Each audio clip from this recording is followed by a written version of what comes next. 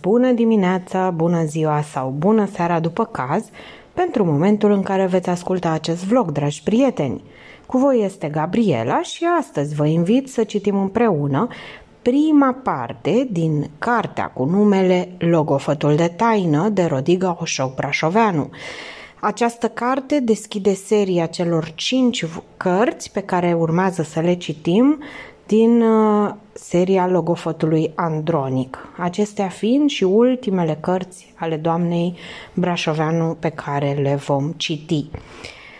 Ce vreau să vă spun încă de la început este că această carte are undeva, cel puțin formatul pe care îl am eu, 618 pagini și va fi de departe cea mai lungă carte pe care o vom citi până la acest moment. Pentru că până acum maximul a fost undeva la 400 de pagini, da? Deci vom vedea, nu știu încă, nu-mi dau seama câte pagini se pot citi într-o oră, dar vom afla împreună. Așa că dacă vor fi mai multe părți, aceasta este explicația, ca să știți. Voi încerca totuși să nu ne lungim extraordinar de mult cu ea, dar am preferat să vă spun din start ca să știți despre ce este vorba. Bun, vă mulțumesc din suflet că îmi sunteți alături. Vă invit să vă abonați la canal în cazul în care nu ați făcut-o deja, să dați click pe clopoțel pentru a fi siguri că veți fi notificați de fiecare dată când postez un nou vlog, să dați un like dacă v-a plăcut eventual un share și, bineînțeles, nelipsitul comentariu, deoarece îmi face plăcere să vă citesc comentariile. Acestea fiind spuse, să începem. Predoslovie Deamu, dacă soarele și-a prăpădit bărbăția, e bine.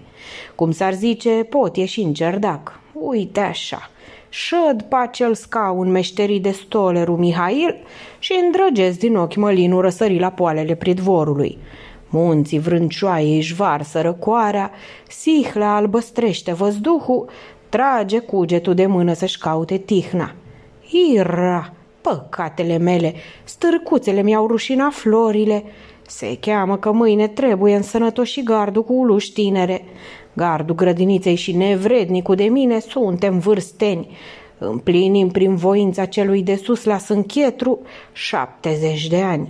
Pe dumnealui la betegi veninul pământului, pe mine o pârdalnică de vătămătură tare, căpoasă și harnică dobândită în vremea pojarului de la 1820. Ne sprijinim unul pe celălalt și să nu vorbesc cu păcat. O mai ducem. După umbra conacului s-ar cuveni să fie ceasurile cinci. Slugile își cercetează hodina prin chilii, Niculăiță, ucenicul meu, ispitește peștii iazului cu o râmă și un bold îndoit, cercând a-i amăgi. Am în față cartea părintelui Ilarie, la dreapta un cofăiel cu apă rece scos din inima pământului și gavanosul cel mititel cu dulceață de zmeură crescută sub ziduri. Taina amestecului mi-a încredințat ochelarul Dionisie în ziua când domnul l-a chemat să dea socoteală pentru bucatele de fruct hăpăite pe ascuns în, podul Paște, în postul Paștelui. Când cel de sus va porunci să-i bat la porți pentru aceeași netrebnică ispravă, voi încredința-o și eu ucenicului. O, oh, păcătosul și poftalnicul de mine, iar am scăpat o chicătură în omătul bărbii. În caltea știu că o să-și râdă Niculăiță prin unghiere. Află, frate cititorule, că acea carte ce se găsește în fața mea are o istorie lungă. La anul 1711, tătarii au năvălit hultănește la ceas de noapte asupra Sfintei Mănăstirea Domniței. Cuvioșii călugări s-au apărat cu furca într-o mână și crucea în cealaltă – dar ascuțișurile paginilor au biruit. Din toată suflarea mănăstirii n-a rămas decât un ucenic nevârstnic. El a scos de sub anteriu părintelui Ilarie cuprins de flacără această carte. Cine a trudit să o întocmească rămâne o taină, așa că având îngăduința domniei tale, frate, cetitorule, o voi pune pe seama acelui călugăr asupra căruia s-a găsit. Cum a ajuns în bibliotichia boierului Alecu Florescu, tot o taină rămâne. Rânduiala cărților mi-a încredințat-o bunelul conului ale cu mie, nevrednicului Pahomie, cel robit pântecelui, de îndată ce am deprins știința buchiilor la școlița din Târgu Focșenilor. Trebuie să-ți spun, frate cetitorule, că sunt ducurile boierilor florești, mari iubitori de știință cărturărească, adăpostesc opt mii de cărți care se cer cercetate și îngrijite cu dragoste. Și mai trebuie să-ți spun că dintre toate, o sebit o îndrăgesc pe cea asupra căreia a trudit pana părintelui Ilarie. Amarul de vreme care s-a călătorit i-a betegit scoarțele, negreața cernelii s-a stins, pergamentul e pe moarte, umbletul degetelor a șters slovele pe la colțuri. Chipzuind că faptele cele bune n-au prea făcut pui în chilia mea, am hotărât dar să o aștern din nou pe hârtie trainică, după tipicul buchiilor latinești. Ieri, la vremea când zorelele închideau ochii de somn, a venit să mă întrebe de sănătate boierul Vasile Alexandrii. I-am spus gândul care mă paște și dintr-o dată ochii dumnealui și-au sporit lumina bucuriei. Cartea părintelui Ilarie, după cum vei binevoi să afli, ostenește să înfățișeze mâna întinsă de valahi rubedenilor primejduite dincolo de hotarul țării. Vei afla, de asemenea, frate cetitorule, chipul celui târg al Bucureștiului supus ciumei și focului iscat de necredincioși, răfuielilor dintre megieși, căci dumnealor, dragă Doamne, numai pe malul Dâmboviței pofteau să se păruiască. Până în anul domnului 1601, cetatea de scaun a fost mărunțită de unguri, tătarii hanului de la Crimea și turcii lui Sinan Pașa, care au ras până la temelie mănăstirea Sfintei Troițe. Când să zică bieții gospodar, Doamne ajută, s-au repezit să-i dea palancă la pământ Simion Movil al Moldovei și șleachticul Ion Potochii de Potoc. Turcii din Giurgiu repede și ei între două somnuri să-și ia partea, după care a pogorât Bator Gabor al ungurilor cu oștenii să culeagă ce-a mai rămas. Nu s-au ca bine zidării actitoriilor noi, că răzmerița seimenilor a ales piatră de piatră. Șase ani după isprava iasta peste cetatea Bucureștilor s-au bătut ciuma, foamea, turcu și tătaru. 16 ani au trudit gospodarii să-și întărească trupul și cugetul, când iar calca cea blestemată ciumă care a pustit cetatea cu desăvârșire. Când să prindă târgul din nou cheag, s-au bătut o leacă nemții să jugănească negustorimea. Da, apoi seceta din 1718 însoțită de ciumă. Da, apoi jaful turcului de la 1738 semnul unei noi ciume. 33 de mii de suflete și-au dat sfârșitul în acel an, dar apoi altele care au urmat. Și iarăși București și-au spălat obrajii, au chemat înapoi verdeața și râvna de a înălța mărturii pentru viitorime. Călătorind pe drumurile apusului împreună cu logofătul de taină Radu Andronic, vei vedea lăcașele papistașe – Alături de acele catedrale, turlele mitropoliei din București se vor părea și ștave, biserica scaune, o mogâldeață acolo. Nu cârni din nas și nu judeca rogute cu păcat. Arată îngăduință ctitorilor valahi, căci asemenea zidiri s-au înălțat în vrem tulburi, sub domnii scurte, când petica neagră de mazilirea capugiului poposea des pe umerii voievozilor. Nu râde văzând că gospodarii târgului își podesc curițele cu grinzi de stejar. Școala cea mititică de la Sfântul Gheorghe vechi să nu-ți târnească zâmbetul. Iar dacă se va întâmpla să scolbuiești încălțările pe ulițele strimte ale Bucureștilor de la acea vreme, dacă glodul le va necinsti, alungă sudalma de pe limbă, scutură-le și pășește mai departe. Vodă Brâncoveanu, în dragostea sa pentru ctitoriile înălțate după gustul pământenilor, târgoveții, meșteșugarii, neguțătorii și dascălii și-au îngropat o fărâmă din suflet între zidurile Bucureștilor. Cărturarii, opincarii și boierii credincioși neamului au asudat sânge. Lor mă închin. Capitolul 1. Noaptea iscoadelor Întunericul vâslea mahmur umplea sihla de umbre, luna răstignită între nori cernea lumină văduvă lipsită de credință. Drumul se strecura sfoară subțiratică pe sub pântecele muntelui, ocolea cum lădieri de viperă grohotișurile năpăstuite de ceață. Sus pe creastă, două perechi de ochi cercetau umbletul până departe, spre porțile Brașovului. Miclăuș cel tânăr, scutier la curtea nobilului transilvanean Gabriel de Noțig, aștepta înfrigurat cu unghiile înfipte în căușul palmei.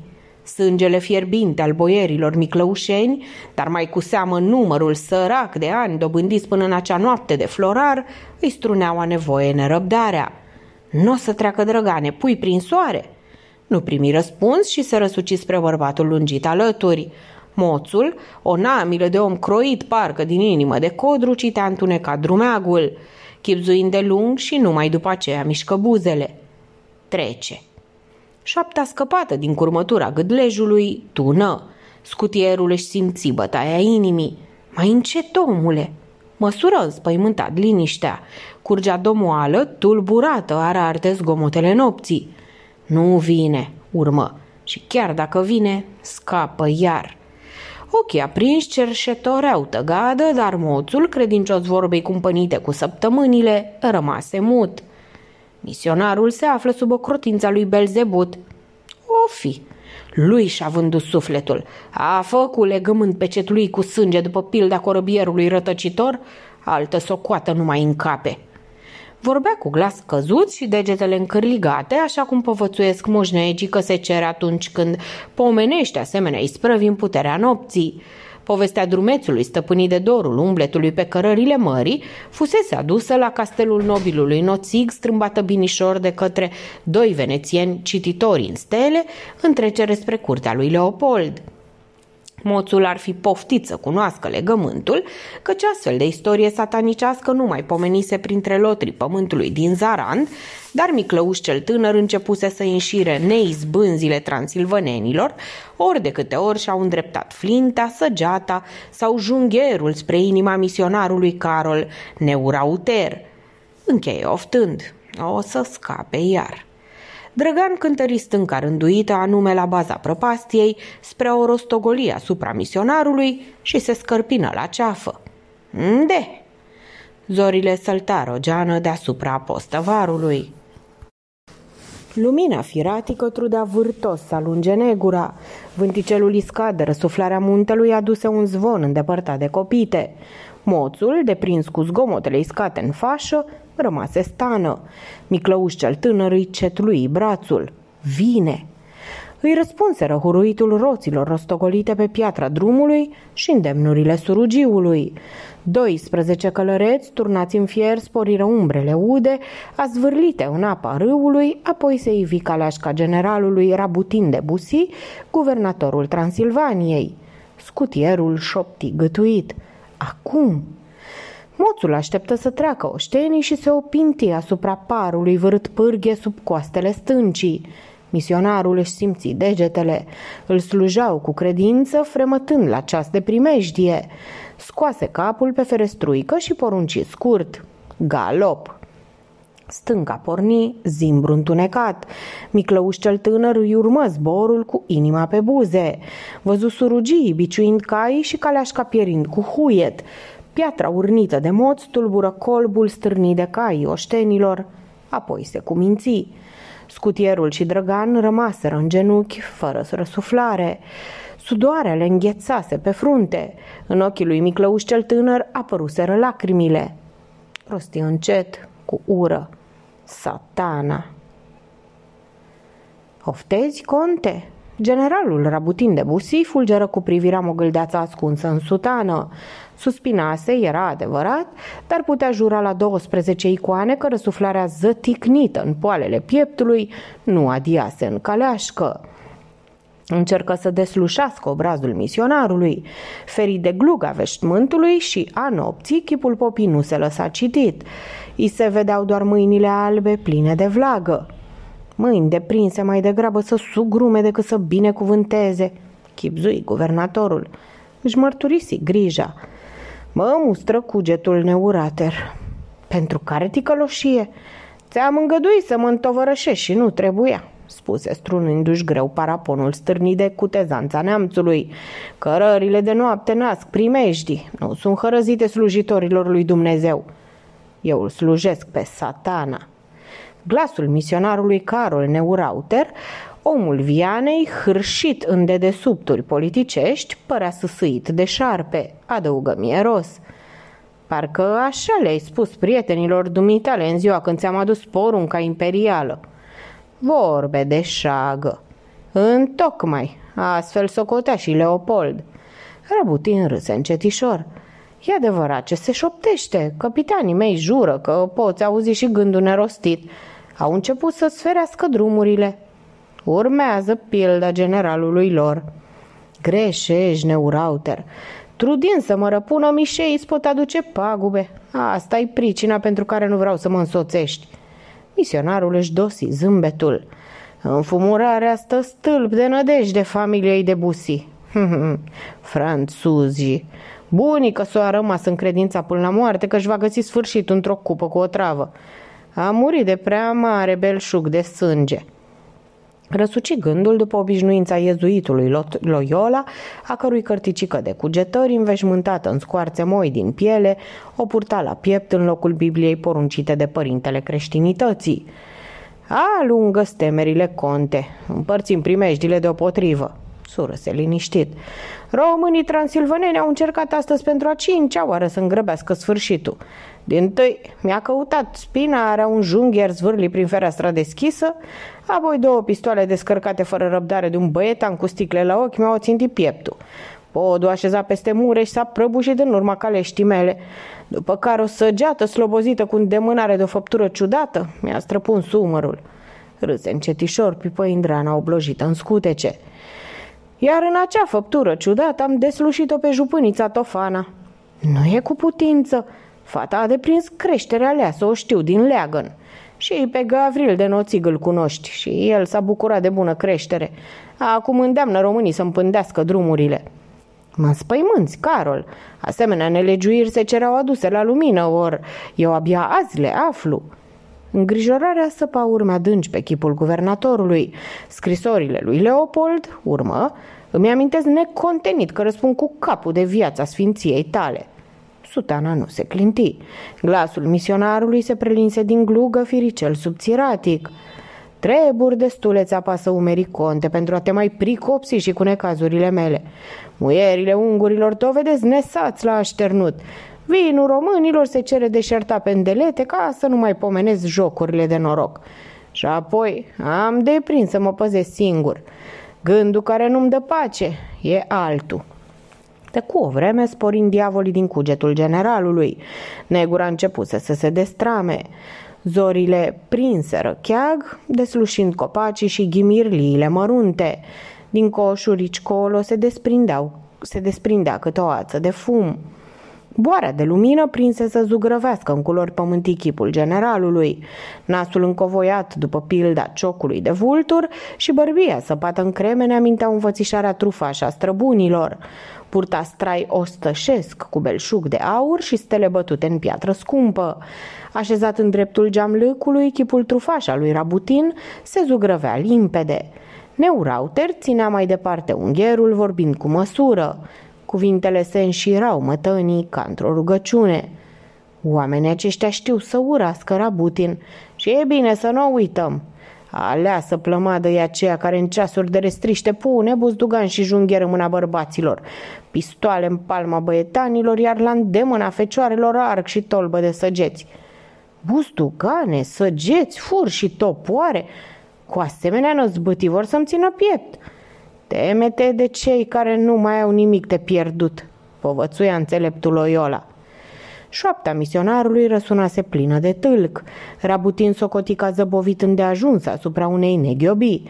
Până la urmă, Neurauter tot popă rămânea și nu-i puteai cere pricepere de oștean.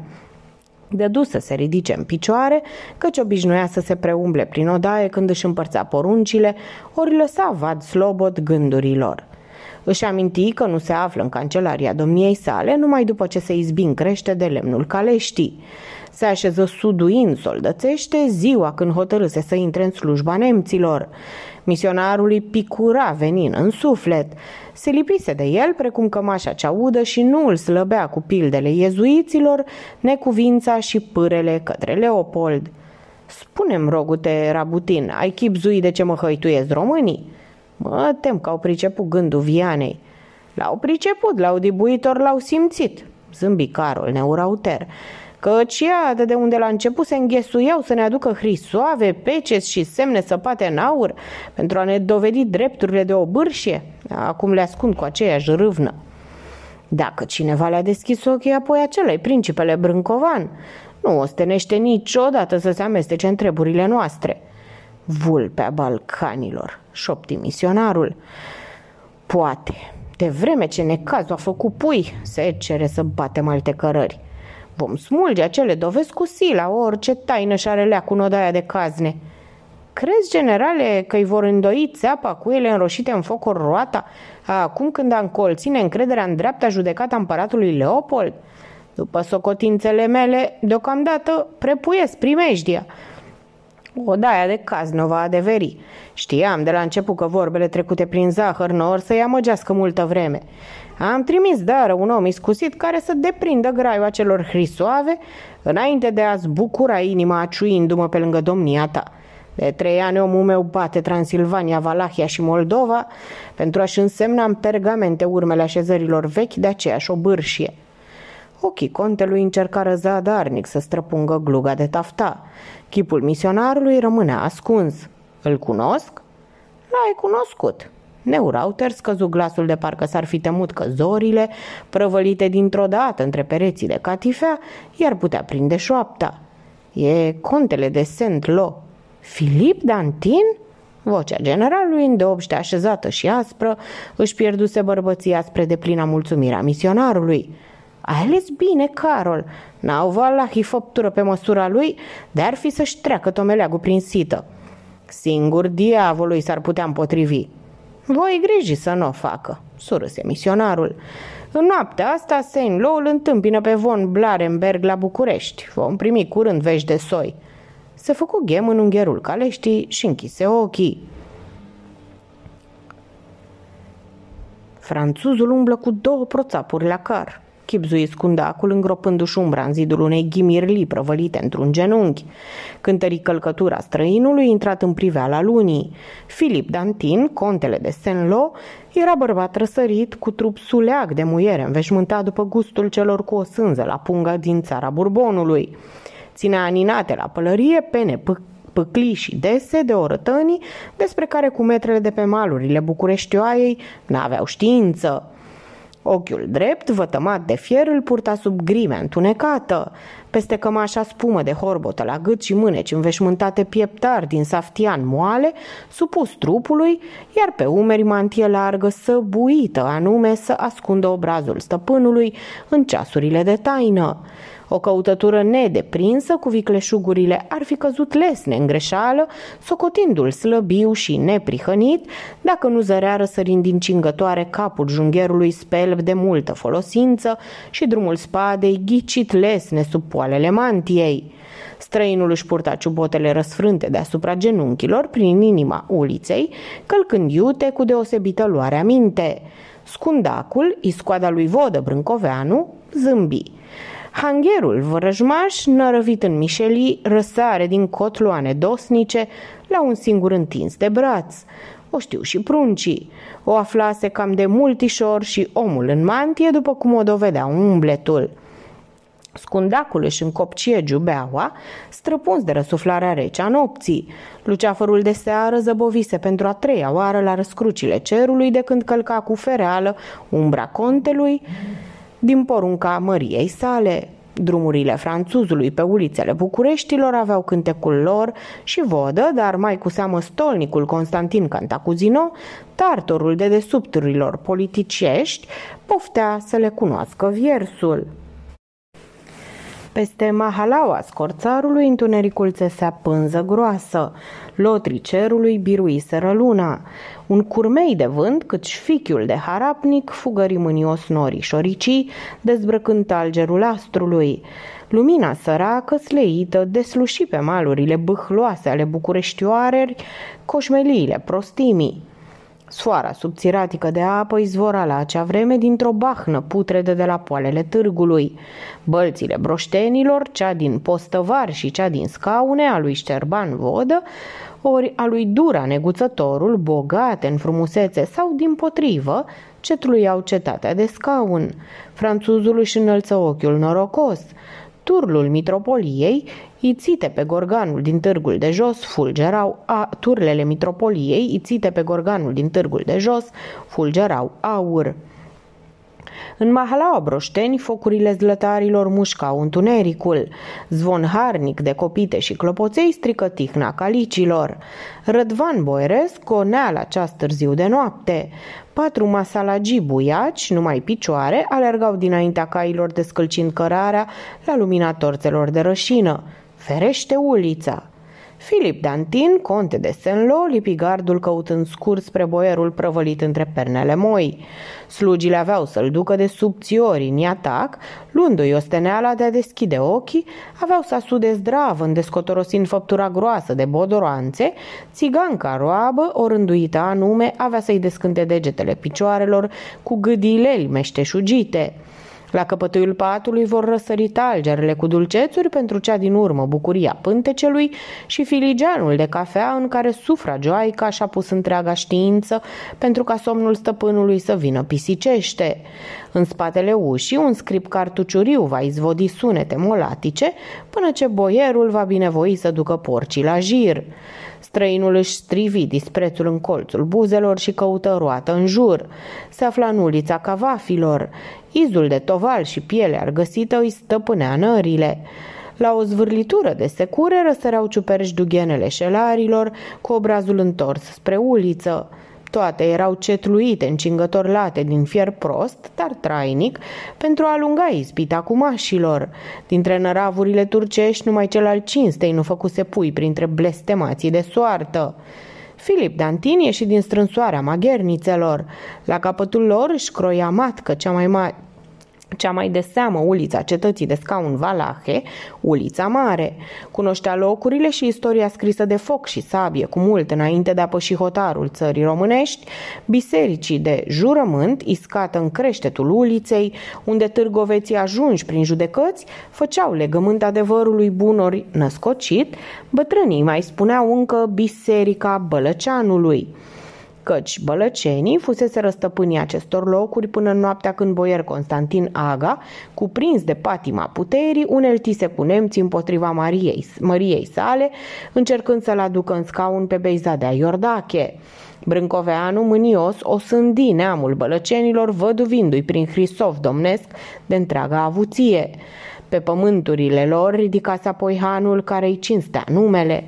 Trecuseră zece ani de atunci, și urmă gândul contele de Senlo, socotind că acum se aflau în anume noapte a lui Florar Leat 1700. Se încredință încă o dată că doar pisicile ulițarnice îl țin în priviri, apoi scăpără amnarul cu fereală pentru ca scânteia să fie zărită numai de la ferestrele hanului. Iscoada lui Vodă își simți in, inima Lumina bolnavă din odaia baronului Carl von Blarenberg, consilierul împăratului Leopold al Austriei, răspunse clipind cu înțeles. Stolnicul Constantin Cantacuzinou își dovedise încă o dată agerimea ochiului. A venit excelență, Secretarul baronului, o făptură subțiratică, stăpâni flacăra lămpii. Carl von Blarenberg se ridica nevoie din coasta crivatului. Era bărbat copt, însemnat de ani, purta veșminte de lotru păcurii și două pistoale îndesate sub centură, la vintre, după năravul tâlharilor. În ochii sinilii, osteniți de folosință prin cotloane tainice, lipsite de lumină, nu buchiseai nimic trecu poala mantiei pe umărul stâng, ascunzându-și obrazul, după care puse mâna pe clanță. Îngăduie, stăpâne, șopti stârpitura. Omul domniei tale dă semne de neliniște. Zâmbetul cel rău strâmba chipul lui Filip Dantin. Preț de câteva clipe rămase nemișcat. Când se răsuci șerpește, între degetei sticlea jungherul. Luna își smulsese feregeaua, întinzând în tina uliței umbra iscoadei. Scundacul înțelese că nu are scăpare. Rezămăză plazul înalt al mănăstirii Sfântul Ioan cel Nou, scoțându-și armele. Contele de Senlo frământa în palma mâinii drepte sabia lungă cu două ascuțișuri, în cealaltă mânerul jungherului. Ochiul teafăr împungea obrazul scundacului. Înainte întrebând încet cu acea blândețe pe care ți-o dă credința în biruință. Cu ce gând îmi ți spinarea, omule? Oare nu știi că la ceas de noapte asemenea faptă nu mai întâi șuhangerului își găsește plata? Iscoada încruntă sprâncenele. Străinul grăise în valaha limpede a moșnenilor, lipsită de adaosurile grecești ori ale osmanlâilor, răspândite printre târgoveți. Sclipuitor de aur din pungile întârziaților sau în slujbă domnească? Domniei tale, care din cei doi ți-ar fi de trebuință? Niciunul. Cu mașilor le aduc stricăciune la brațul pofticios, iscoadelor le cercetezi inima cu ascuțișul. Repezi fulger vârful spadei, țintind gâtul scundacului. Valahul îndepărtă fierul ucigaș, zvâgnind iataganul din încheietura mâinii. Contele de Senlo făcu un pas înapoi. În ochiul teafăr ardeau lumini tulburi. Am priceput. Nu setea de aur cea fără de măsură și nici lipsa unui funducliu de trebuință pentru a păși pragul crâșmărițelor din târgu de jos te-au adus pe urmele mele. Ești scoadă. Cine și cu ce gând te-a trimis? Întreabă-mi junghierul străine. Bag de seamă că domnia ta știi și ce, scum, ce scurmă goda cu îmbătătura târgoveților valahi. Nu-i de mirare să cunoști și graiul armelor. Zâmbetul cel rău puse din nou stăpânire pe chipul franțuzului, împunse fără credință noaptea în dreapta și stânga ai scoadei, apoi izbi vânteș de sus în jos, țintindu-i creștetul. Cei care n-au făcut bătături în palmă mânuind iataganul, înlătură asemenea lovitură, încrucișând amândouă armele deasupra capului. Rămași fără apărare, se pomenesc lesne cu hangerul între coaste. Scundacul întâmpină tăișul numai cu sabia, păstrând jungherul pentru celălalt ascuțiș. Filip Dantin rămase cât ai privi în cumpănă, apoi se răsuci morișcă pe călcâie. Mâna stângă ținea capul pumnalului proptit în degetul gros. Brațul urmă roata trupului prin spate, căutând loc fierului în vintre. Hangerul iscoadei îi tăie scurt drumul spre marea mirare a străinului. Cunoști vicleșugul? Cu îngăduința domniei tale, răspunse scundacul sărind în vileagul uliței. Unde-ai dobândit asemenea învățătură, omule?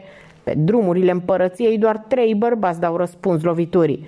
Buscalione venețianu, Sabulo din San Sovor și... îl măsură lung, și logofătul Valah Radu Andronic. Pe cei din tâi știu, n-ar vinde taina nici pentru doi saci de taleri. Despre acel logofăt am auzit multe istorii, dar niciuna nu dă semne că și-ar fi prăpădit mințile căci numai oaspeții mănăstirii sări în dar cu beteșug la cap pot înstrăina asemenea comoară. Mi s-a spus de asemenea că Radu Andronic e trupe și bine legat. Deci nu domnia ta ești acela.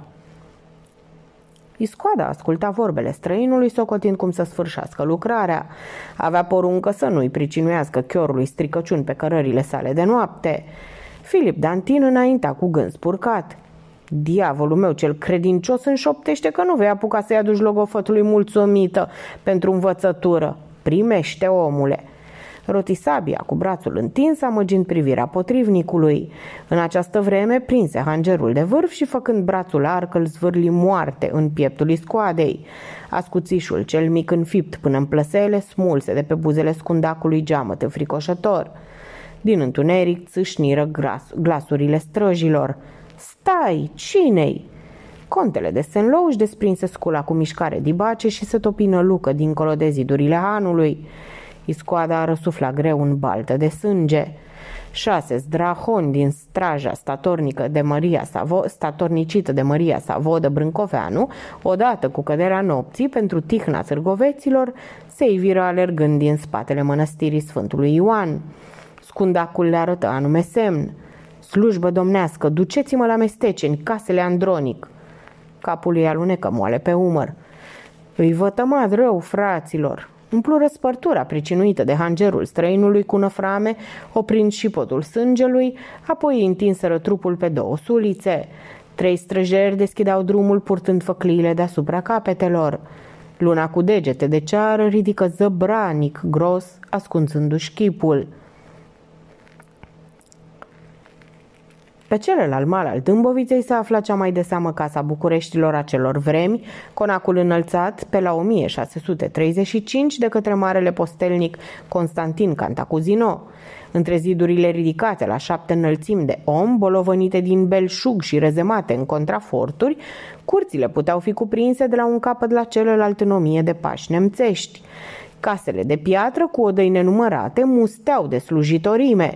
Bucureștenii zvoneau că în acele încăperi s-ar putea lesne aciua trei mahalale cu prunci, bătrâni uitați de moarte, orătănii și acareturi, rămânând o palmă bunișoară de loc și zlătarilor din mahala oscorțarului de la porțile cele mari ale Dudescului, întorcând spatele arnăuților de veche zi și noapte în foișorul înalt, pe mâna stângă zăreai la căpătăiul unei potești scurte și șerpuitoare șase mesteceni, lumânări argintii care vegheau din trei părți casele boierului Costache Andronic, clădite în inima uliței Sfinților Apostoli cărăruie prunduită ducea de la gardul întocmit din butuci pântecoși de stejar de-a dreptul în casa stăpânilor. În spate se înghesuiau hambarele, cuhniile, grajdurile și căscioarele slujitorimii cu ferestrele spre vie. În grădina cea mare, năpădită vara de floare și poame, căscau ochii geamurile de la iatacul jupânesei Irina. Aici, privind cum zarzărul își ninge floarea, trăgând pe nărea Roma dulce a bujorului, pe care poposeau osteniți fluturi zanatici, ori înfiorându-se sub cațaveica de vulpi de urgia lui Făurar, își căuta dumnea ei odihna vorbelor în ceasurile de chindie. Limba cea robacea jupânesei Irina era cunoscută departe, dincolo de hotarele târgului și nimeni din neamul andronicilor nu s-a plâns vreodată de muțenia dumnea ei. Moștenise trei moșii și o sarsana tixită cu pilde de la maică sa, postelniceasa Casandra Prisăceanu, femeie strângătoare de arginți și cheltuitoare de povețe. Noaptea se statornicea de grabă în casele Andronic. La cel din tâi cântat al cocoșilor, vară ori iarnă, stăpân și slujitorime, se desfătau în brațele celui de-al doilea somn. De la datină se rupea doar boierul cel tânăr, Radu, logofă de taină al măriei sale vodă Brâncoveanu, pe care slujba al mâna temiriunde, la vreme sucită, după cum socotea cu coana Irina, când creștinului îi e dat să înțepenească între zidurile conacului și nu să hălăduiască sub stele ca zdruncinații oricei fără de căpătâi. Până la capătul zilelor nu și-ar fi biruit dumnea ei buimăceala dacă i-ar fi fost dat să afle adevăratele drumuri ale boierului Costache Andronic, o fărâmă de ochi cu o fărâmă de om cu ochi buiaci în care clipocea veșnic râsul. 30 de ani slujise Valahia la vreme de cumpănă, purtând scrisori meșterite după anume izvod către Viana ori Stambul, ori în depărtata curtea Burbonului la porunca voievozilor munteni și nimeni nu-i oblicise rosturile. Trupul puțin tel, vorba domoală și căutătura blândă aveau darul să-i ascundă adevăratul chip. Patru sfeșnice de argint, fiecare având câte trei brațe, luminau odaia cea mare a andronicilor. Urmând obiceiul pământului, jupâneasa Irina înmânuchease cu dichis în unghiere ierburi plăcut mirositoare, pe măsuța arăbească, împodobită cu aramă, se afla o ulcică de Sibiu în care aceeași mână așezase crengi de cireș în floare. Flori mărunte muriseră de mult la poalele icoanelor. Viețuiau încă lăcrămioarele răsărite în vinerea mare să plângă patimile Mântuitorului. Pe peretele dinspre Ansfințit se afla o blană de urs, iar pe acea blană armele boierului Prisăceanu cel bătrân, străbunul cu coanei Irina. Iataganele încrucișate păstrau încă urmele multor bătălii purtate cu turcul. Sofaua, atât de dragă Osman lâilor, n-avea căutare în casele jupânesei, așa că de desubt așezate-se laviță cu spătar, asupra căruia trudise cu dalta și ciocanul meșterul Grigore Săgetatu, vestit la acea vreme pentru știința de a isca flori și struguri în lemn prost. Iscusința cioplitorului Valah o dovedeau și sunducul și scaunele cu brațe și polița icoanelor de pe peretele răsăritului. Jupâneasa Irina croi o cruce cât ziua de post la picioarele Sfântului Niculae, după care nodă vorba despre odrasla domniei sale. Dacă știam că o să ajungă o lăcarul brâncoveanului, nu mai prăpădeam amar de bănet cu învățătura lui prin târguri papistașe, să răpună o hergelie de armăsari gonim bezmetic de la un capăt la celălalt al pământului pentru răvașele lui vodă. Poate și Flore, Argatu și Har Domnului. N-a deprins nici slovele a zbucoavnei. Boier Costache pipăi sub caftan clondirașul talienesc, îmbrăcat în hăinuță de piele. În privirii sclipeau lumini vesele. Așa-i jupâneasă, chipzuiește adânc, după obiceiul celor din neamul domniei, sa, domniei tale – Cocoana Irina își potrivi rochea de canavăț, cenușie șnuruită cu terței, care cădea scândură pe trupul deșirat și pufni pe nări. La piept îi strălucea cruce grea de aur cu lanț petrecut de două ori în jurul grumajilor. Conciul sărac și-l ascunsese sub tulpan șoriciu. Se uită pieziș spre Ilie Machidon, slujitorul lui Boier Radu, alt zălud ce-și lăsa de izbeliște gospodăria, muierea și pruncii umblând alături de logofăt după coada prepeliței și simți cum îi sporește mânia. Socotez, dar că de aceea a născocit Dumnezeu un hotar, strunind pofta bicisnicilor de haimanalâc. Omului îi ajung stelele de deasupra capului, credința și bătătura lui, dacă era într-altfel, ne croia pe toți deopotrivă, ne punea aceeași limbă în gură și nu ne mai zicea valah, tătar ori muscal. Poftești să-mi spui mie, machidoane, ce ofte mână la împărăția turcului? Au, n-ai auzit că bostangii nu mai pridide să descăpățâneze creștinii veniți cu gând de uneltire. Un zâmbet cu tâlc lunecă pe sub mustața țăranului. Cinstită jupâneasă, după mintea mea cea îngustă, n-ar avut turcului în poate aduce folosință la o adică. Trăia la noi în satul unu săculețe, certat cu cinstea, care le-a săvârșit omor la drumul mare și stăpânirea l-a spânzurat. Bun, la vreo lună, ia că se mânia apele Milcovului și vin tătărești asupra așezării. Casa lui Săculețe era în bătaia puhoiului și nimeni din neamul lui n-a scăpat cu zile. M-am scărpinat pe sub căciulă și am luat învățătură. Cine moare spânzurat, scapă de nec. Zâmbetul nu-i ostenis o clipă. Din tâi îl veselea iscusința lui Boier Costache, care izbutea să ducă la gură, fără știința jupânesei, clondirașul umplut cu mastică de la Pireu, apoi vorba neobosită a jupânesei Andronic. Socotea un ceas de când gura îi măcina fără istov. Bună învățătură machidoane! Acum pricep pentru ce anume scaută logofătul tovărășia. Și să nu-mi răzmie mânzește pe sub mustață că am ac și de cojocul tău. Ilie Machidon clătină din cap făcându-i de plină încredințare. Era subțirel, iar în straiul leșesc, cu ceapchen scurt și nădragi strâmți, semăna a băietan, purta cămașa albă din in, împunsă cu florituri în care citeai mâna muierii, smărândița, frumusețe vestită în țara Vrancei la acea vreme. Mintea ascuțită a plugarului sclipea în ochii verzi, înfipți la rădăcina nasului puțin tel strâmb. Se mișca de pe un picior pe altul, stăpânindu-și greu nerăbdarea. Boier Costache căută să abată vorbele jupânesei de la slujitor. După ochiul meu, socotesc că până o bate nea, neaua, o ți afla capătul calabalâcului. Apoi ușor e să slobozi porunci din vârful patului. Se răsuci mușcată de șarpe jupâneasa. Mi-a trecut tos prin nos de azi dimineață că șfeciorul domniei tale după toate semnele nu pleacă la mogoșoaia. Chipzuiam că avem sluși destule. Tu te toate, când rachiul stă stâl pe masa stăpânului de cum se clizește soarele în ferești, gospodăria vine de-a berbeleacu. Doamne, apără-ne! Se răsuci închinându-se spre icoana Sfântului Nicolae, mare cât peretele, ferecată în argint. În stânga și dreapta spânzurau pe covoare moi, chindisite în fir de mătase, narghilele și pistoale, a căror istorie o cunoșteau doar boier Costache. În mijlocul cămării, jupâneasa Irina rânduia într-un sunduc bodroanțele de drum ale logofătului. Era un cufăraș înalt, cât un prunc mai răsărit, Născocirea dumnea ei cu despărțituri bine chipzuite pentru veșminte, bucate, leacuri, prescure și apă sfințită. Uleiul grecesc de pântecei sub icoana Sfântului Visarion, păzitorul drumeților machidoane. Del pălește guturaiul să-l afum cu flori de la Domnul Hristos. Se află în teșchereaua de pânză răsurie. Ca, cată rogute să nu uiți. Nu știu ce-o fi păzin cămărășița. De azi dimineața i-am poruncit zeamă de descântec și iacă. Noaptea stă pe despicate și încă nu s-a înfățișat. Uită-te la, jung... Uită-te la mine, Machidoane, nu la stele. Dacă îl încearcă junghiul să-i citești moliftele Sfântului Vasile cel Mare și să-i dai lapte proaspăt dres cu rozmarin. Eu e așa nina o juncană la oblânc, spuse boier Costache fără zâmbet. Umblă vorba când turcime vacile nu-s botezate. Cucoana Irina îl cercetă cu gura căscată, apoi pricepu și întoarse spatele o țărâtă.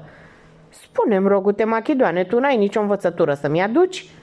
Țăranul își rândui mustața fără grabă. sa, Irină, cred că Dumnezeu a lăsat muierii gură ca să dea povețe și bărbatului ure ca să le afle. Ia aminte, boier Costache, și cum ai ajuns la asemenea înțelepciune? E la noi în sat, urmă slujitorul, un fierar, unul teacă, și a dobândit numele după belșugul dovedit în goliciunea casei. Poți să-i învârți prin odăi o mâță de coadă și n-are de ce să nina. În schimb, i-a dăruit Dumnezeu o nevastă tare bogată la limbă, care îi stă ciocan pe cap cât e ziua de lungă. Mult m-am minunat eu cum de se mai ține bietul om cu dinții de vatră. Într-o zi l-am întrebat. Ilie Machidon, cercetând de lung fierul sunducului, sporind nerăbdarea jupânesei. Cocoana Irina porunci scurt. Vreau să știu ce răspuns ți-a dat acel fierar supus. Apoi, cinstită jupâneasă, după știința dobândită de dumnealui, ci că pe lumea asta s-ar afla mai multe ciocane rupte decât Nicovale sparte. Boier Costache râse gospodărește. Jupâneasa îl împunze suliță cu ochii și adăugă câteva trențe în cufărașul plin ochi. Slujitorul își cuminții zâmbetul. Bodroanțele aveau să însoțească doar până la conacul morii. Aici, la jumătatea drumului spre Dunăre, își lepăta logofotul ca la balăcul fără știința mamăsii, spre a nu-i stârni mânia. Costache Andronic înghiți o dușcă zdravănă de mastică, pândind spinarea nevestei, apoi prinse a pufăi mulțămit din narghilea. De acu gândesc ajunge, jupâneasa. Oamenii ăștia au trebuință de un ceas, două de odihnă înainte de a se urni. Auzind de drum, cu coana Irina se închină. În colțul ochilor îi stăruia lacrima și inima boierului se muie. În van stârnești griji, Irina. Radu seamănă bucățică tăiată, isteț și chipzuit. Dacă nu ți-o fi cu bănat, boier Costache, află că chipzuință de la domnia ta a moștenit-o. Bate pe muche 22 de ani și prin tărtăcuță îi zboară doar ciocârli și filomele. Batâr de ar fi avut slujitor așezat, da, simt că mă apucă tigoarea numai când cau spre Machidon. Mai multe nădejdi îmi fac într-un curmei de tei. Porunci răspicat. Pune mâna pe Sfânta Evanghelie și jură că n-ai să-mi ieși din cuvânt. Țăranul trase din sunducul logofătului Genoveva de Brabant, tipărită de franțuzi, socotin că jupuneasa Irina nu o să-i dibuieș vicleșugul. O sărută plin de evlavie și rosti. Jur! Înainte de toate să împăzești feciorul de ispitele turcoaicelor. Hărăpoaicele sunt muieri primejdioase, iar Radu trage la genunchi de teleleică. Cu cine s-o fi asemănând? Se miră bătrânul. Nu trebuie cerceta prea departe. Ia aminte, Machidoane, teme mai cu seamă privirea neguroasă. De ea să sferești stăpânul ca de neaga rea. I-am înodat eu cămașa spre al slăbit din trânsoarea farmecilor muierești, dar slujitorul cu credință îi zbândește mai mult când nu-și ține ochii în palmă. Iar eu te povățuiesc să-i caști bine, că își nu pleci în pângănime ca să leși coada la câini. Poftorește porunca. Pe buzele țăranului răsări mierea șugubeața moldovenilor – Îți fac încredințare cinstită jupâneasă că îi voia bate pe logofă de la ispitele diavolești ale muierilor cu feregea. Așa, Machidoane, și că numai spre crivatul grecoaicelor am să-i dau dezlecare. Urmă slujitorul fără zâmbet. Boier Costache Andronic râse mulțumit. Cocoana Irina ridică ochii în Bagdadie. Bine, omul lui Dumnezeu, dar asta ai înțeles tu. De cucoană, răspunse Ilie Machidon. Atâta m-a ajutat capul. Eu îs țăran prost. Nu prostia indesat-o în traistă, ci pe cel cu cornițe, doamne, iartă-mă și păzește. Pe chipul lui Boer Costache scăpără lumină veselă. Își anină privirea de icoana grea, socare nădușind vârtos trei haidamaci și rosti. Chipzuiesc că Sfântul Nicolae l-ar ține la fereală mai abitir ca o slugă Chea margații de grădină jupâneasă să desprindă cu viosul din perete. Nu-l cunosc tovarăș mai de nădejde la drum pentru feciorul domniei tale. Apoi cere lână de la broască. suspină cu coana Irina, și smerenie de la mintea supusă ranchiului. Aferin, boier Costache, că mult îmi îndulcești cugetul la ceasuri de răspântie. Jupâneasa își înghesui sub nas și la ochi marama chindisită de ucenițele maicii Agaftoclia de la mănăstirea Tămâioara. Să-mi slujești cu credință, feciorul Machidoane. De îndată ce face ochi, îndeamnă-l să se închine spre răsăritul soarelui și să nu-și spurce gura cu bucate lumești înainte de a pune pe limba nafur așa gheasmă. Ai mare grijă să zică rar și cu evlavii ocinașele. Ziua de vineri, să ajunați amândoi, căci în împărăția cerurilor nu-i loc pentru cei robiți pântecelui. Dacă drumurile voastre vor mâna peste ape, rugați-vă Sfântului Ierarh Nicolae și numai după aceea purcedeți.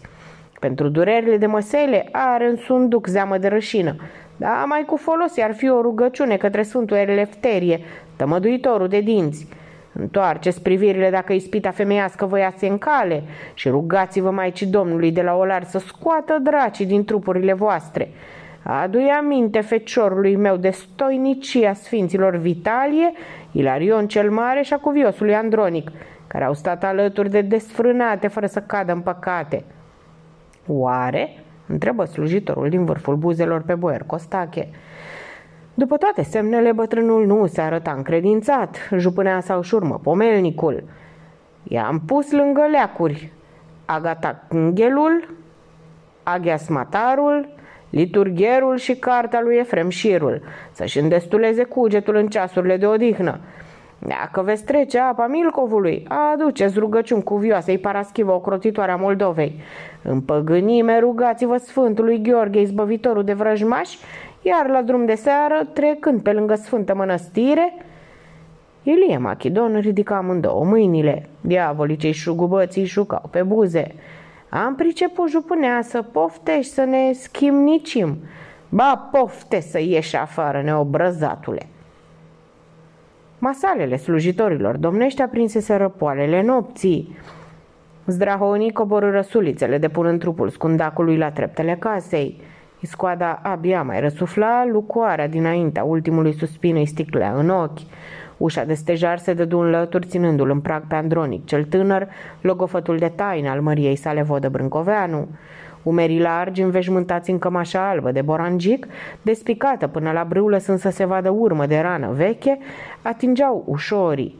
Era bărbat înalt, cu chipul smead și părul tuciuriu ce aluneca în lungul obrajilor.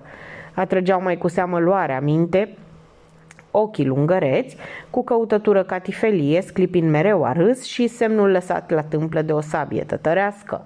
Sub mustăcioara subțire sticleau dinții albi, toți deopotrivă, parcă mai mulți decât între buzele altor făpturi. Nădragii leșești, sugrumați pe mijlocul subțirel și pulpe, intrau în botfori scurs și moi din piele răsurie. La vederea scundacului fața ei se adumbri. Se lăsă într-un genunchi săltându-i ușor capul. Cine l-a vătămat? Străjile ridicară din numeri. Așa l-am găsit lângă ulucile mănăstirii Sfântului Ioan. Vrăjmașul pierise. Ne-a poruncit să-l aducem la casele domniei tale. Scundacul își crăpa nevoie ploapele, întâmpină privirea neagră a logofătului și rosti stins. Chiorul și neamțul sunt înțeleși. Istorisind cuvinte puține și potihnite întâmplarea de sufereastra baronului, apoi capul se lăsă greu între mâinile lui Radu Andronic. Străjile își scoaseră cușmele și se închinară după obiceiul pământului. Ți s-a ridicat amirare sprânceana gândului, frate, cetitorule, și pe mine, pe sfântă dreptate, te întrebi. Pentru ce a alungat hodina slujitorilor măriei sale, vodă Brâncoveanu, drumurile de taină ale franțuzului vătămat? Au nu din inima turcimii veneau stol primejdile cele mari? Îngăduiem dară mie, nevrednicului Pahomie, să aduc de slușire zăbovind acolo unde peana părintului Ilarion s-a dovedit zorită. Anul Domnului 1700 îl găsește pe turc ținându-și șalvarii cu amândouă mâinile de atâta slăbiciune că se hrănise cu papara leahului, iar de sub zidurile Vianei fugise cu o săgeată înfiptă în șezut. Ludovic al francezilor răsufla greu după bătăliile cu craii Europei, povățuiți la Augsburg, să-i mai taie o leacă din nas. O sânza puterii se așternuse pe oștile Habsburgului, Leopold smulsese o mână din penele de păun ale rigăi soare, punând în două rânduri stăpânire pe Alsacia, pocnise turcul în moalele capului, ținea țara ungurului sub călcâi, iar după împăciuirea cu șalvaragii din 1699 a supus Transilvania slugă la dârloagă. Degetele de fier pofteau spre celelalte două surori, Moldova și țara românească. Poate că domnia ta, frate cetitorule, vei zice, deamu ori cu turcu, ori cu neamțul pe cap, tot un drac. Apoi, eu te povățuiesc să nu-ți încarci cugetul cu asemenea gând nesăbuit. Socotește, rogute, că în atâta amar de vreme pe turc nu l-a ținut cureaua să ne îmbrace în strai de pașalâc. Mai cu zăhărelul, mai cu aurul, mai cu ascuțișul spadei la o adică, atunci când ne-a venit apa la moară, am amăgit noi necredinciosul. L-am amăgit. Ei bine, află că neamțul e altă sămânță de om și altă brânză purta dumnealui în traistă la vremea aceea, după cum vei vedea. Și apoi am să-ți mai spun una. Când s-a arătat primul hultan lângă cotețe, mare spaima cuprins orătănile. Dar iacă poposește și al doilea. Și unde au prins a se măsura între ei cu vrăjmășie, pândindu-se îndelung. Cum dau unul semne de slăbiciune, puicuțele îi aduceau de grabă hrană. Când, căci vezi dumneata, frate cetitorule, a ajuns și la mintea găinii că mai primejdios rămâne un singur vrăjmaș care le nu se teme de nimeni și nimic. Cine să rateze poftele hultanului împărătesc de la Viana? Turcul făcea pe Nisnaiu, sugea iarba dracului din Narghilea, numărându-și cucuiele. Leahul să ne sprijine. După ce bunul Dumnezeu l-a adunat de pe drumuri pe Sobieschi și leahtici au început să-și smulgă bărbile între dumnealor care să pună mâna pe hlamidă. Petru cel Mare era pândit de oștile suedezilor, iar craii din asfinții se suduiau mai rău decât harabagii cei spurcați la limbă din podul Iloaiei, pentru că ieșind la Arat băgaseră plugul în haturi. Singura nădejde rămânea Francia. Nu pentru că ar fi apucat-o dragul de noi, Doamne ferește, însă Ludovic jurase să-l facă chisăliță pe Leopold. Amândoi avan chiteau cum să pună mâna pe asemenea scăunel. Iar asemenea scăunel avea sub stăpânire talpa și carâmbii ciubote italiene, țările de jos și ce mai dobândiseră corobierii oșteni în America, ori prin alte coclauri. Și Iaca, Tamana atunci îl îndeamnă necuratul pe Filip Dantin, care le cunoștea toate de desubturile Franciei, să se dea vândul nemților. Și apoi nu era la primul drum prin principatele noastre, iar cercetarea amănunțită a graiului și a obiceiurilor românești strânise îngrijorarea domnilor din Moldova și Muntenia. Gândul satanicesc care încolțise în cancelaria Vianei, ai să-l afli, domnia ta, frate, cetitorule, mergând pe urma lăsată de peana cuviosului Ilarie – Dau ascultare mâncărimii de pe limbă și îți mai spun una. Toate diavoliile franțuzului vătămat, prepuite de stolnicul Cantacuzino, se vor dovedi floare la ureche pe lângă mișelia pusă la cale de către acel misionar neamț din Transilvania, Carol Neurauter. Din porunca lui trudea chiorul să deprindă graiul și obiceiurile românilor, fără să aibă știință încotro bate gândul iezuitului. Va căsca ceapă de mirare ochiul teafăr către asfințitul acestei cărți? După pilda ochilor domniei tale, frate cetitorule, dacă deprinzi o leacă de răbdare și te ții de pasul logofătului Radu Andronic.